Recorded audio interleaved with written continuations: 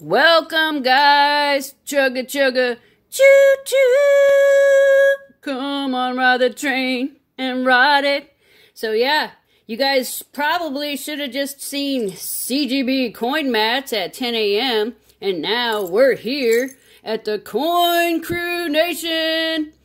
So, hope you had fun already. Starting off the day with the cool guy, Matt. And after us, you'll see the Wild Wild West. And then we'll be going to Heads or Tails Living. And then keep that train a going to the Triple P, poo, poo, poo, pistol packing pilot. And then my man, the cool dude, stacks and stuff. And then after that, we will see Plumber Stacker, and to finish us off, you will see the man, the myth, the legend, the maddest stacker in the world. Oh, and don't forget, after Madd's video, I'm pretty sure he's going to be doing an auction for our friend and pal out there, Robert Worley, aka the Flyman. So he's going to be selling his stack. So, hey, head on over there after all this fun. Hey, crew, Angel here today, and Keith just got these in and put them on my desk because he didn't know what to do with them. And here's some information I found out about them. Did you ever think that the first page of your success story would be so beautiful? Look at the gleaming artistic medallions you have just received, hyping you up for it. That's right, one of the most superlative artistic medal or medallions of our time and masterwork and antique finish sculpture is yours. An unbelievable introductory price of only one dollar. These are the sterling ones. Here's some more information.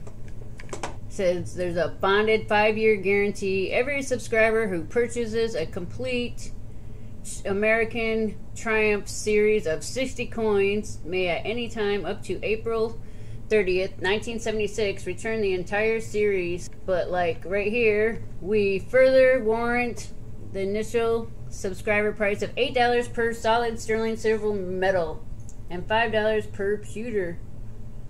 Alright, well, I guess I don't know what the dollar was. Maybe that's like the beginning to get you hooked in or whatever. They said that they will not charge any more than eight bucks, even if silver goes up. So I guess that's kind of cool. So the guy didn't get jacked on this one, and so basically the guy only got one third of the set. Yeah, right here. Congratulations! Are in order. The shipment of the Great American Triumphs medallion means that your collection is one third complete because I guess this is like a 60 piece set. This is like the frame that it comes in, but of course we took it out of the frame because it was all like mildewy and stinky. But I do have the inserts. So I did a little bit of research and these are something kind of cool. These are like the these are from the Longines Symphonette Society. So they created this, see it says Longette Symphonette, and then it says sterling silver, and each one of these is marked 194 because that was the that was the number of the customer. So all of all of the ones that went to a specific person were marked with a specific number so this customer was the one that received 194 but he only received a third of the set because it was like a 60 coin set. And they started this out in 1971 and they guaranteed them it will contain no less than 525 grains of solid sterling silver.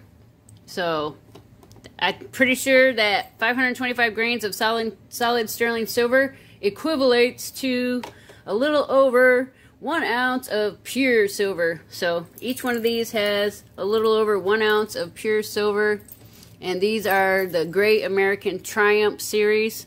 So like this one is the, the Brigham Young from 1847. And then it has a little bit, yeah, 1801 to 1877 and it tells you a little bit of information. So I'll just show you a little peek of each one. James Audubon. So there's some information about him. Scientific methods of foremost naturalists. Naturalists? Hmm. Is that like a nudist society or something? I don't know. Huh. Samuel F.B. Morse began a new era in communications when the words, What hath God wrought flashed by telegraph. All right. So, telegraph thing. And then we got the Pony Express, which that's pretty sweet. And I mean, look at the detail on these. They they have like some cool high reliefness. I mean, the back isn't as cool, but the fronts are pretty sweet. I'm gonna take my horse, I'm gonna take my horse to the old time road. I'm gonna ride till I can't no more. That's just what it reminded me of. So what's this? Fulton's Folly. Some kind of boat, man. I'm on a boat. 62 historic hours. That's a long time, man. What's this? The Lewis and Clark Expedition. Hey, I'm familiar with that one. St. Louis. St. Louis. Good old St. Louis. And then we have, what's this? Old Ironsides, 1812. During the War of 1812, the frigate Constitution, under Abel's command of Captain Isaac Hull, conquered the almighty British frigate, thereafter as Old Ironside. So that's kind of cool. And what else do we have? Eli Whitney and the Cotton Gin. Where did you come from? Where did you go? Where did you come from? Cotton Eye Joe. I've been thinking long time ago. Where did you come from? Where did you go? Where did you come from? Cotton Eye Joe. It's the Alamo. Yeah. So the Alamo. Alamo, Alamo. Washington, farewell to his officers. Goodbye, officers. 1783. Whoa, that's a long time ago. Where did you come from? Where did you go? Where did you come from, Cotton Eye Joe? All right, get off the Cotton Eye Joe, man. Washington crossing the Delaware. Yeah, I think they just made it like a quarter about this. It's like one that everybody's trying to get. The Washington crossing the Delaware. Whoosh. What else we got? Cannonball! Splash! The Battle of New Orleans. Oh, we got another. A horse, ride a cowboy. Paul Revere, Midnight Ride. Ready to ride and spread the alarm through every Middlesex. What? Every Middlesex village. What's a Middlesex village, man? Does it mean you have like sex in the middle? I don't know village and farm for country folks to be up and to arm. Yeah, it's like, get up! You're in the middle of sex! Get up and get armed! Yeah! Yeah, boy! Battle of the Concord Bridge. The shot heard round the world was fired at Concord's North Bridge in 1775 and heralded the first American victory in our war for independence. What's this one?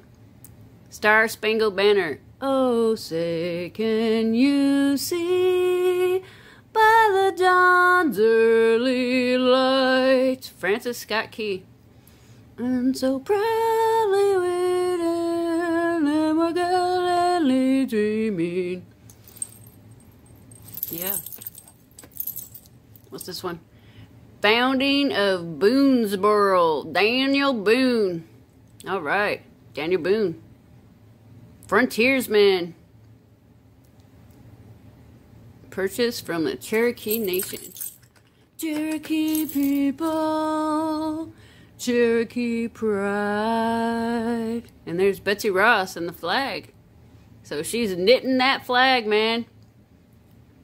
Mother of the Stars and Stripes gave her famous flag to George Washington at her home in the colonial Philadelphia.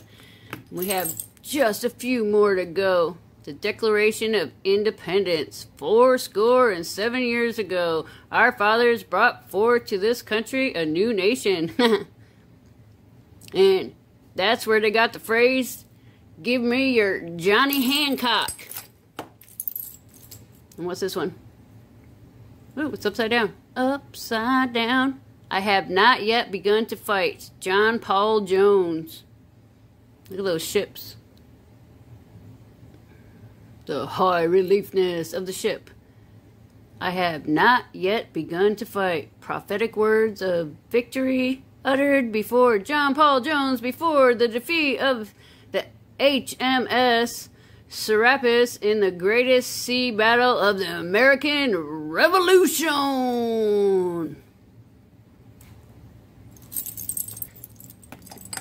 And last but not least, we have Patrick Henry. So, yeah, who's Patrick Henry? Give me liberty or give me death. All right, I heard that before. Conclusion of the Patrick Henry stirring plea for colonial self determination, rallying cry in the struggle for American independence. Give me liberty or give me death. So, hey, what do you think about these cool little sterling silver medals? I think they're pretty cool. So if you like them, give me a likey likey. And if you have something to say about it, comment below. And I think uh, it's about that time. Check it out now. Funk Soul Brother. Check it out now. Funky Soul Brother. So let's head on over to the Wild West Stacker. Where's he at, man? Let's go. Let's go. Let's head over to him. Choo choo! On the board! Aye, aye, aye! So I will see you next time. Bye bye.